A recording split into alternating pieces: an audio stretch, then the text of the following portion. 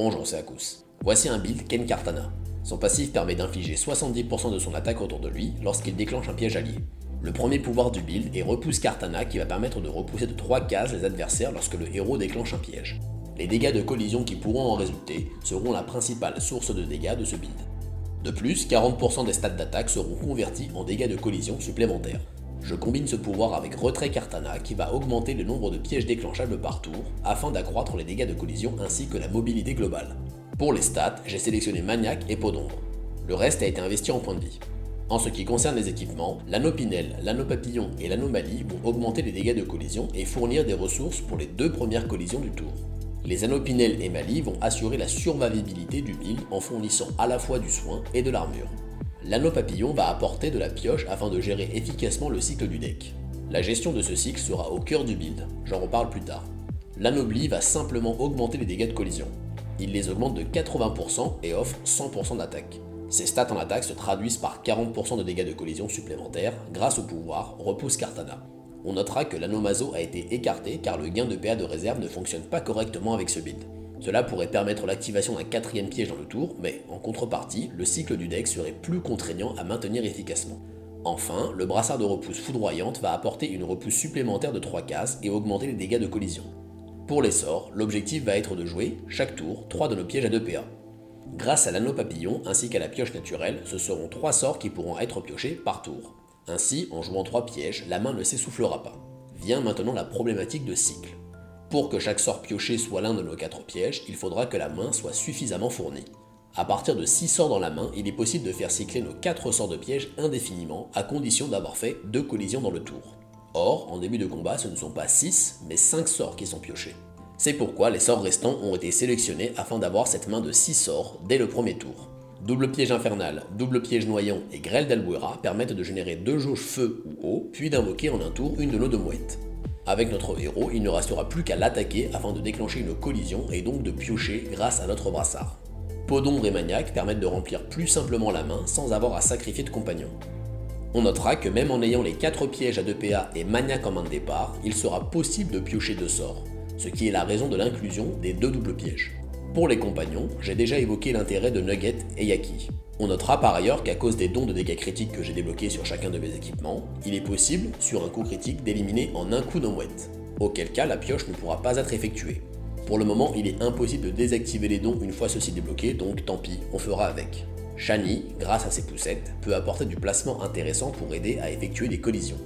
Granny, qui va équilibrer les jauges, va apporter plus de mobilité à notre héros afin de l'aider à profiter de meilleures collisions. Passons au gameplay. Ici on va faire un donjon vampire en diamant 3.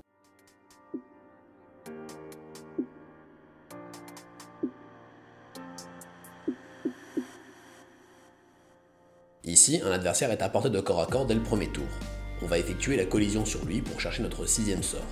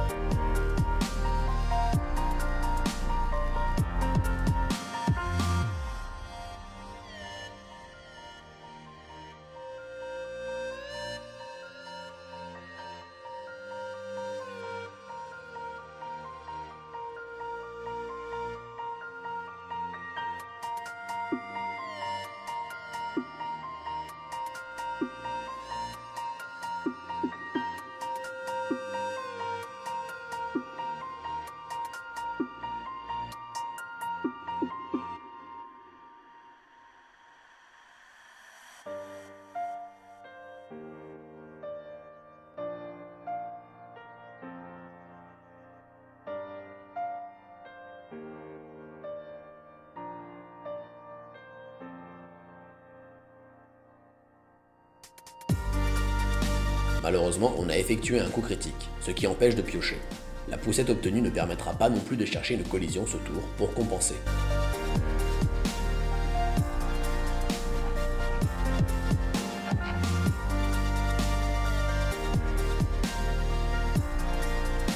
Tant pis, on va effectuer le setup sur le deuxième tour.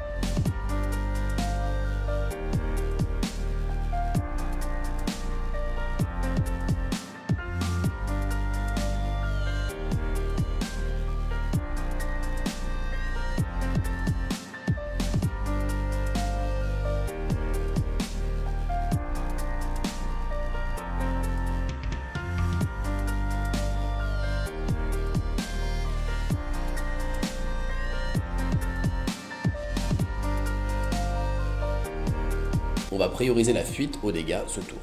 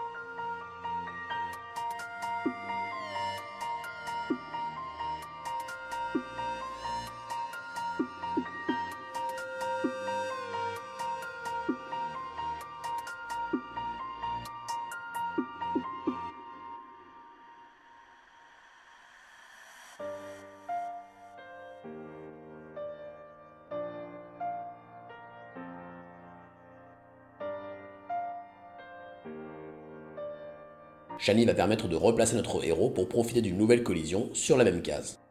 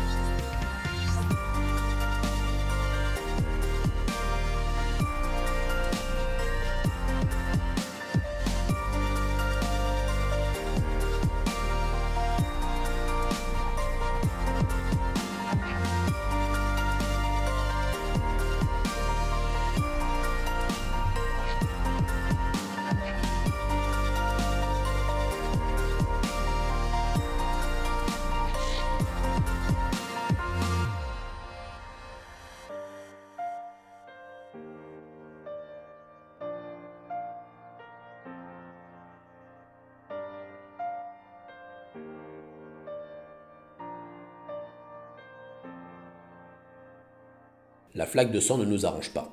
On va utiliser Shani pour replacer le vampire.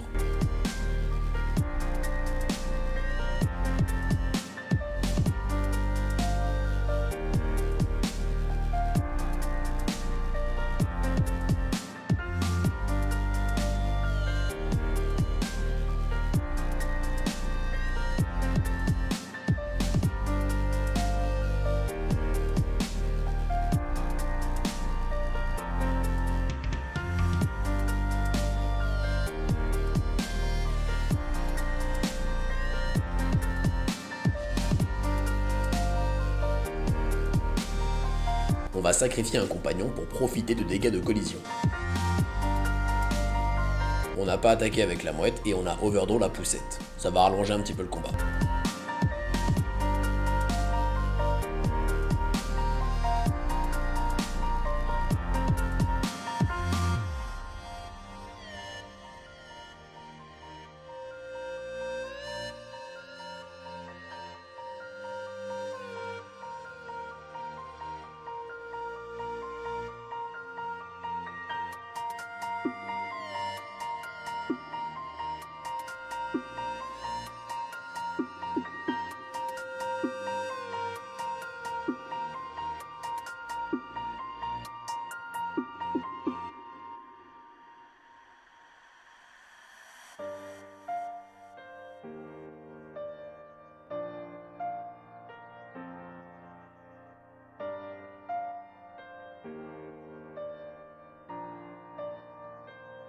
Il ne nous reste plus qu'à éliminer le roi écorché.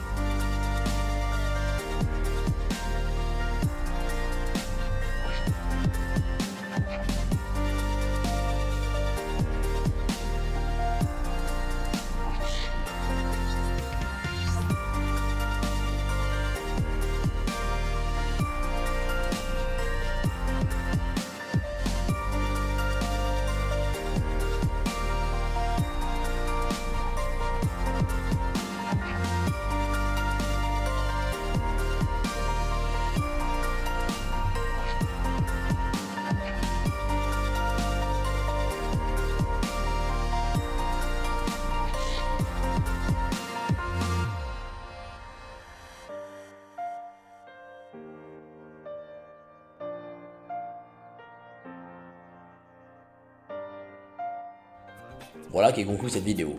Si vous l'avez appréciée, n'hésitez pas à liker ou à vous abonner. Je vous souhaite une bonne journée ou une bonne soirée, c'était Akous. A bientôt.